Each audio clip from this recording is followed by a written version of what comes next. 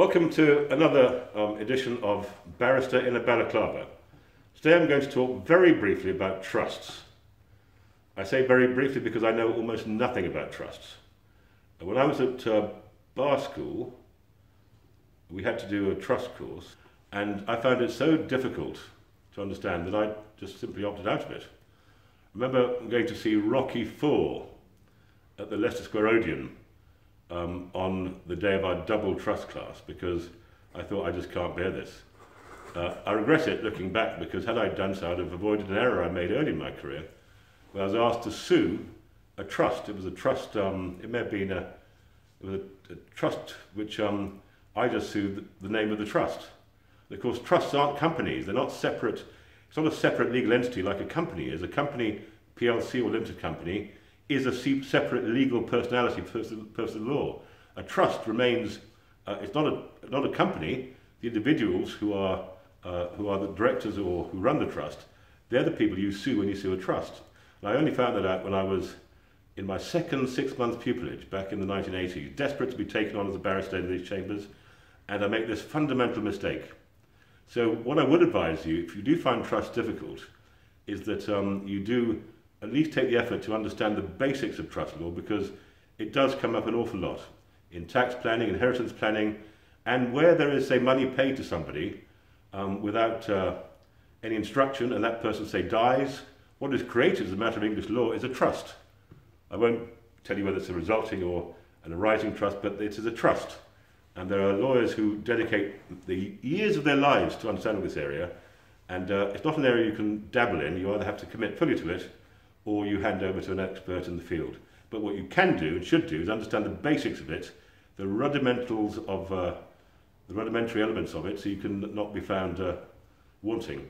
And um, another problem I have in my time doing trust was that I worked, put myself through university. I had to work um, in a restaurant kitchen. Uh, the restaurant was called the Reluctant Camel on Balham High Road. And uh, the owner of the restaurant had the good idea to have a mock-up of a man pulling a camel on with a motorized or mechanical system, with the camel's head going backwards and forwards as it was tugged on by this cut-out cardboard figure, hence the reluctant camel. And I was the chef, I worked there on Thursdays and Sundays, and my trust class was on a Friday. So I did try, I took my book in with me to the kitchen, but I was having to cook all these, let's not call it a chef, I was a cook. I wasn't skilled. I could toss a hamburger and I could make a chili con carne and I made something that we called a stroganoff, but it wasn't. It was just beef in a sauce with some mushrooms. And I'm, anybody who ate it there in the 80s, I apologise deeply for the service you received. I can't offer you anything other than my apologies for it. So that was that. But um, the trust law is important. I, I made light of it at the beginning of this, but it is important to pay attention to understand it.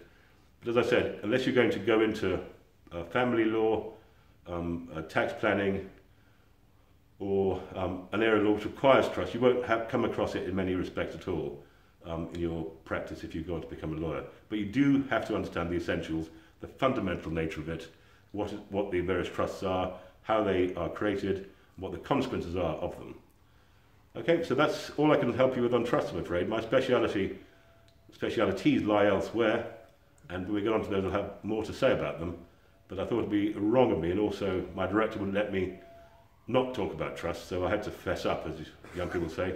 Fess up is the expression. That I know nothing, next nothing about trust beyond the fact that you don't sue the trust, you sue the trustees of the trust.